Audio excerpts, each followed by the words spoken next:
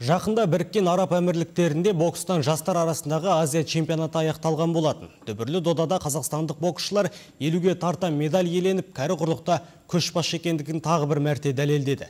Ерлер 8 алтын, 2 күміс, 2 қоламен командалық есепте бірінші орынға шықса, қыздарымыз 13 медальді қанжығалады. 13-тің үшеуі алтын, төртеуі күміс, қалғаны қола. Күміспен күптелген арулардың арасында біздің жерлесіміз Ұлан ауданының тумасы Айшагүл Елеубаева да бар.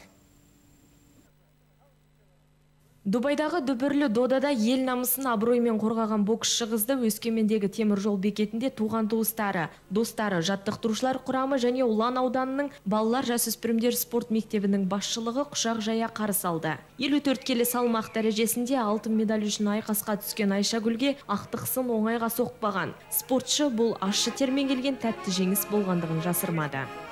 Осының алдында чемпионат мир болды. Сол мирға қарап тренер екеуміз бүкіл қателіктерімізді соған дайындалдық.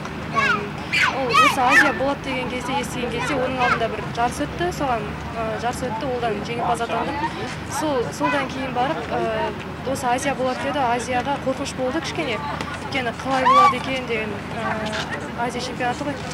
Содан кейін ары қарай уже сборлар өттік көп сборлар өттік. Сосын сөйтіп жақсы тер еңбектендік қатты қиналдық қиналған кездер болды жылаған кездер болды енді сондай көп қиындықтар болды. Солай дайындалдық. Енді соңғы сборымыз бір ай өтті. Содан кейін бір айдан кейін уже дубайға ұштық. Айшагүл Азия чемпионатына мамыр айынан бастап дайындалған. Чемпионатқа іріктеуден іркілмей өткен соң Алматы қаласындағы оқу жаттығу жиынына қатысып Дубайға жол тартқан. Бүгінгі күнге дейін жеткен жетістіктерінің барлығы күн түндемей дамылсыз жаттығуының арқасында дейді жаттықтырушысы. Айшагүл тоқталсақ енді Айшагүлдің өзі енді өте еңбекқор қыз. Өзі енді оңбай жаттығу жасайды.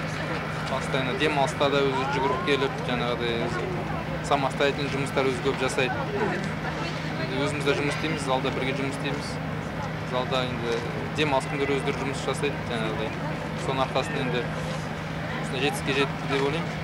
Жұдырықтасу қыздарға тән спорт түрі емес деген сөзге қарамастан айшагүл 13 жасынан бастап бокспен айналыса бастаған. Бойжеткеннің келешектегі арманы олимпиада ойындарына қатысу. Аяулым смағұлова фатима айдын елнұр нұрайханов алтай ақпарат.